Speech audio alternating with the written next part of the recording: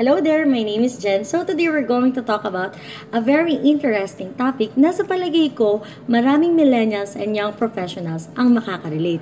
So what am I talking about here? Well, I'm talking about traveling on a serious budget.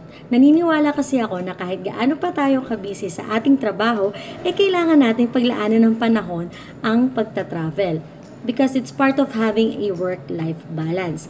Well, baka naman sabihin nyo sa akin na, Jen, baka naman sobrang mahal niyan.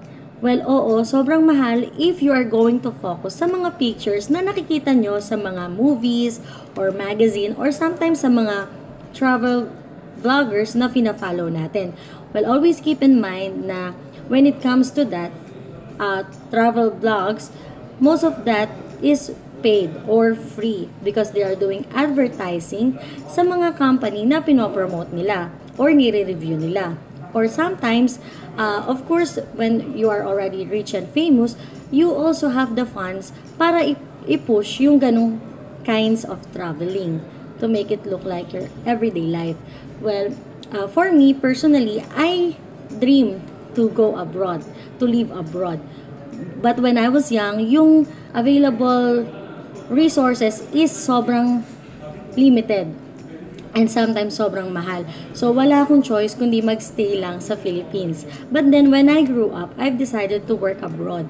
So, not only I'm earning while I'm here abroad, well, I get also to enjoy the place and ma-enjoy ko rin yung sarili ko sa mga sceneries and malaman yung mga cultures na meron dito sa bansa nila. So for that, I've come up for five things that you can do to achieve traveling even you are on a serious budget. So for that, we're going to start with number one. Number one is have a travel fund.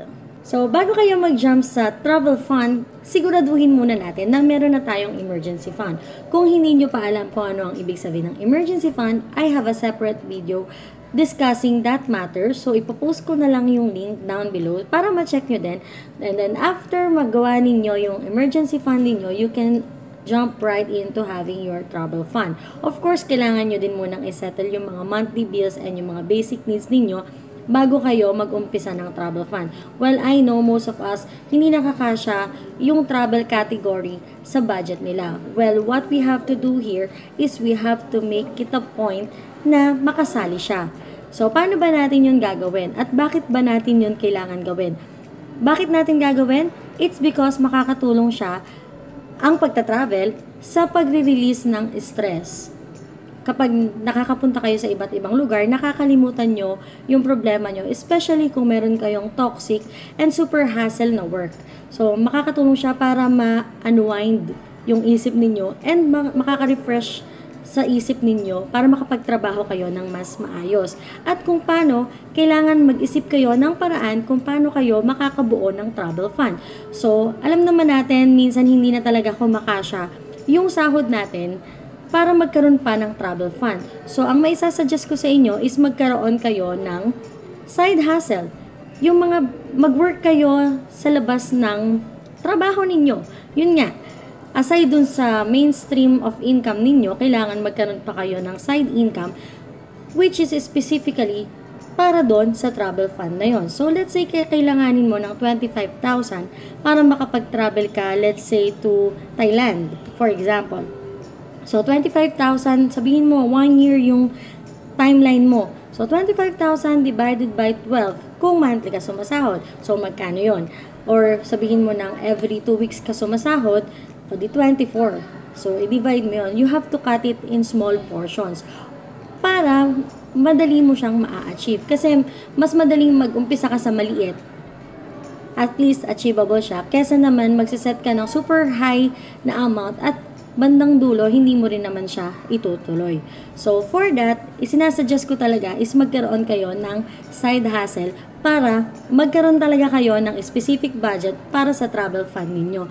I-try nyo siyang gawin. I will promise you, hindi nyo pagsisisihan. Because for me, every year, I make to a point na makapagbakasyon. Kasi sobrang stressful ng work natin. Ayaw naman natin na dumating tayo sa point na gusto na lang nating mag-resign. So, you have to make a point na makapagbakasyon at makapag-unwind. Number two is we have to be flexible. So what do I mean by this? So we have to expect once we are traveling on a serious budget that we cannot have the best of both worlds when it comes to transport and lodging.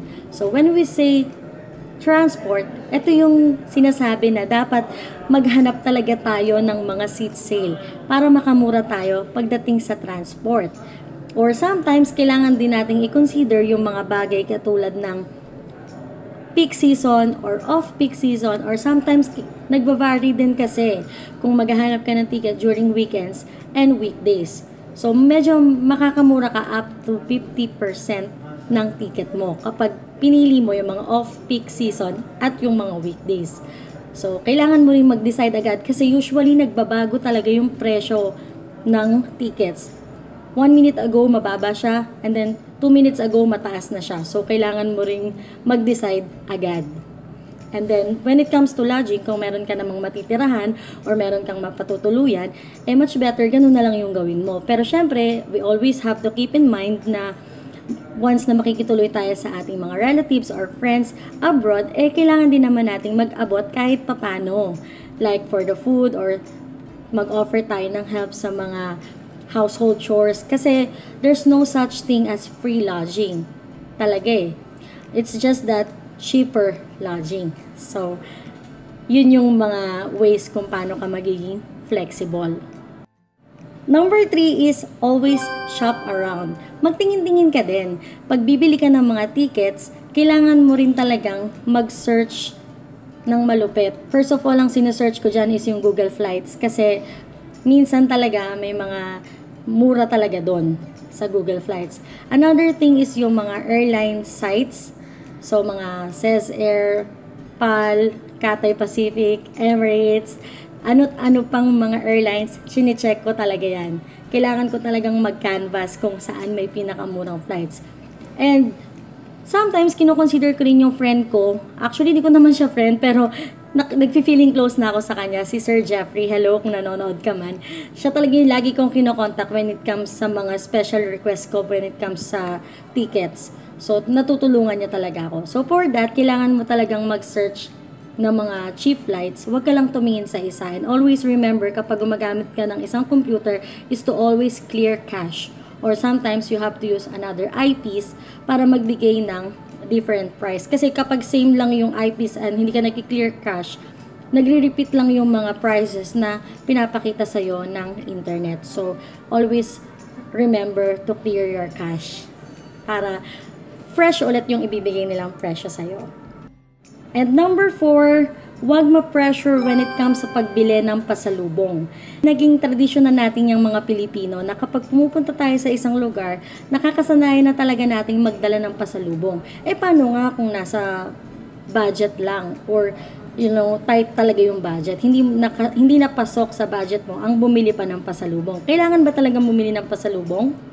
Well, ang answer is pwede kung may extra kang pera or no kung wala naman. Kasi hindi mo naman din yon obligasyon na magbigay ng pasalubong. Well, actually, pag pumupunta ka kasi sa isang lugar, ang pinaka-goal mo kasi is mag-relax and mag-unwind, 'di ba? Hindi naman para magmalaki or parang magyabang sa mga ka- kaibigan mo. Well, I'm not saying na kapag nagpasalubong ka, nagyayabang ka. It's not that.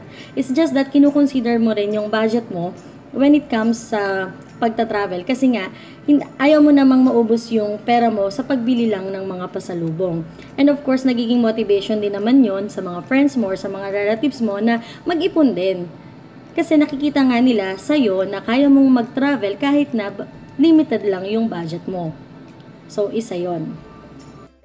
Last but not the least, number 5, treat your travel like a treasure hunt. So, kasi usually kapag pumupunta tayo somewhere, or sa abroad or kahit hindi abroad, kahit sa local tourist spot, pag may nakita tayong cute, ay, bibilhin ko to kasi ang cute. Lahat na lang ng cute binili na. Actually, hindi ganon. At huwag niyong kasanayan yung ganon. Kasi mauubos talaga yung pera niyo sa pagbili lang ng kung ano-ano na hindi naman ninyo talaga kailangan. So, one good thing na pwede niyong gawin is mag-search kayo sa Google. At kung ano ba yung bagay na talagang parang kilala dun sa place na yon yun yung hanapin ninyo. Para meron kayong purpose sa pag, you know, pag window shopping ninyo and pag-check ng mga stores. Parang may isa kayong specific na bagay na hinahanap at kapag nahanap niyo, sobra-sobrang rewarding talaga. Na parang, wow, ito talaga yung remembrance na nakapunta ko dun sa lugar na yon or sa bansa na yon. At i-keep nyo yon. Gawin nyo siyang collectibles na parang, ah, ito, ito yung memorabilia ko nung pumunta ako sa Thailand, ito yung pumunta ako sa Singapore, ito yung pumunta ako ng Hong Kong, ito naman yung nag nag-travel lang kami locally sa Ilocos, yung mga ganong bagay ba. Kasi parang mas nakaka-enhance yon at every time na nakikita nyo yun, mas mai-inspire kayo na mag-travel pa sa mga susunod pang mga araw. 'Di ba? So, gawin nyo lang inspirasyon yon i-display nyo siya sa mga lugar na nakikita nyo lang para nare-remind kayo na kailangan nyo ulit mag-ipon para sa susunod na taon, ibang lugar naman ang mapupuntahan ninyo. Sa pa nga palang pahabol, when it comes sa pagtitipid, ang piliin ninyong uh, hotel, kung gusto nyo namang mag-stay sa hotel, is yung mga hotel apartments. Meron na siyang kusina, meron na siyang laundry, meron na siyang, alam nyo yun, parang bahay na talaga siya, pero hotel apartment siya. Actually, kaya nga siya tinawag na hotel apartment eh, kasi para na talaga siyang bahay.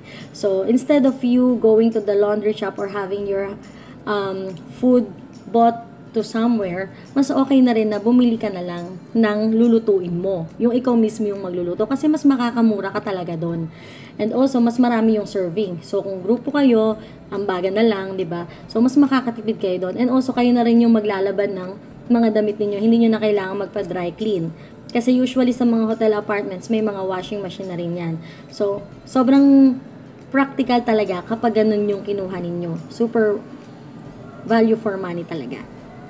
And always remember na ang pagta-travel is not only about airplane travels or taking picture of your passport or taking yourself a picture na malapit sa bintana ng eroplano. Hindi lang po ganon ang ibig sabihin ng travel. Kailangan magkaroon tayo ng deeper definition ng pagta-travel because traveling is really going to somewhere or some places na hindi mo pa talaga nabibisita before. And sometimes it's a good way to get connected onto onto those people na hindi mo na ulit nakakausap or yung matagal mo nang hindi nakikita. Like your relatives na malayo yung bahay, pwede mo naman silang bisitahin or sa mga probinsya, pwede mo silang bisitahin and ganun din naman sila sa'yo. It's up to you kung paano mo gagawin yung mini tour sa places mo and sa places nila. So, double purpose na yon Nakausap mo na yung mga kamag-anak mo, nabisita mo na sila, at the same time, na-enjoy mo pa yung scenery. Thank you so much guys for watching. Kung nagpapala kayo ng mga kaibigan nyo na mag-travel, well, i-push nyo na yan. Planuhin nyo lang ng maigi. And if you find this video helpful, you can share it to your friends. And don't forget to subscribe if you are interested in topics related sa mga young professionals and millennials like us. So, ayun lang. Until my next vlog. Bye!